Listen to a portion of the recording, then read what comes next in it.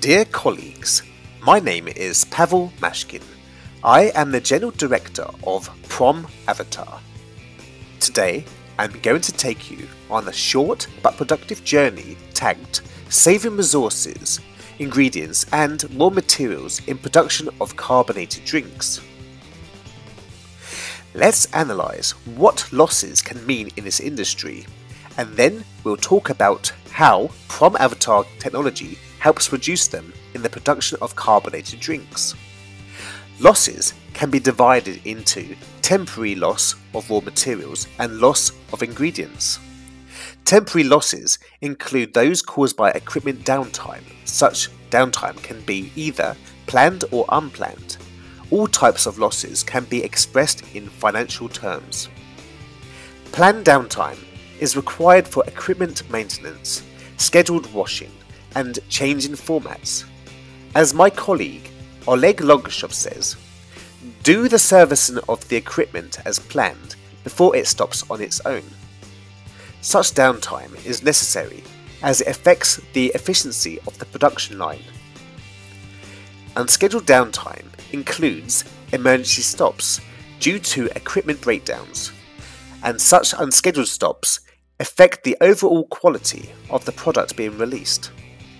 Unplanned downtime occurs due to non-compliance with maintenance schedules, as well as due to insufficient qualification of personnel who work on the line.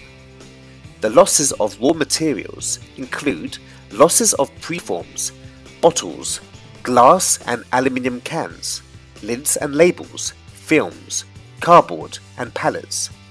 We include nitrogen, working air, electricity, water, syrup, CO2, and so on in terms of the loss of ingredients and working media. As you understand, there are obvious losses such as product defects, foaming of the product during bottling, packaging, and label defects. There are hidden losses arising from exceeding the standards, such as overfilling of the drink, over expenditure of the film on the packaging and wrapping machine, and as well as excessive consumption of electricity, air, and carbon dioxide. Such losses are not given enough attention, but they can lead to a significant deficit. Today, I would like to talk about Prom Avatar solutions which affect the quality of CO2 dissolution in a drink, which contributes to an increase in the efficiency of filling carbonated drinks and reduction of the losses. Let's consider an example. The preparation of a highly foaming drink with a CO2 content of 8.2 grams per litre. From experience, in order to dissolve such a quantity of CO2 content in a drink, the water and ingredients must be cooled, and many resources are spent on electricity to achieve this.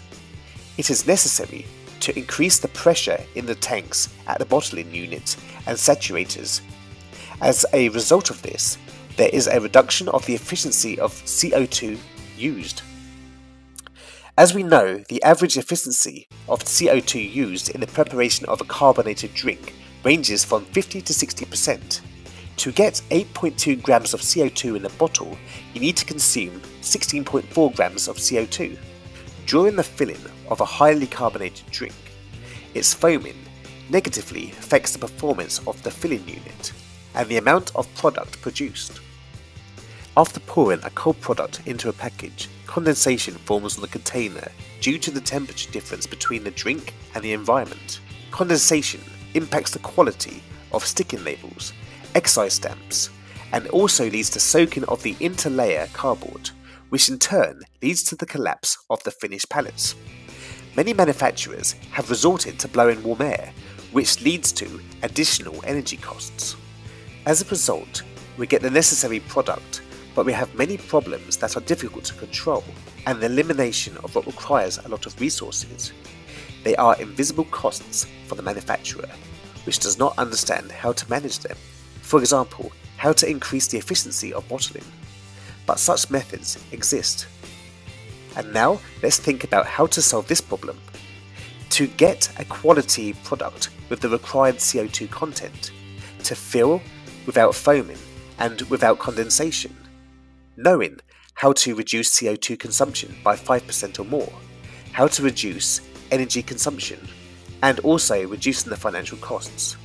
All these issues together are solved by our company, Prom Avatar. We develop and accompany projects for the modernization of saturators and mixer saturators. The purpose is to achieve a high quality dissolution of CO2 in a drink. We solve the problems that can arise when filling highly carbonated and foamy drinks. The technology used by our company was created back in the 1980s by Soviet scientists. The chief author of this invention is Igor Gontaruk. This technology is officially patented. At the moment, we are working with a number of large companies that have provided positive feedback indicating effectiveness of the technology and obtaining the results that I spoke about earlier.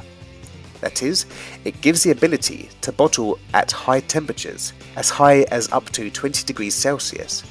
It also allows the ability to qualitatively bind CO2 with a drink, permits to reduce CO2 consumption by 5% or more, and it also influences indirect indicators such as label and cardboard defects which many production sites face.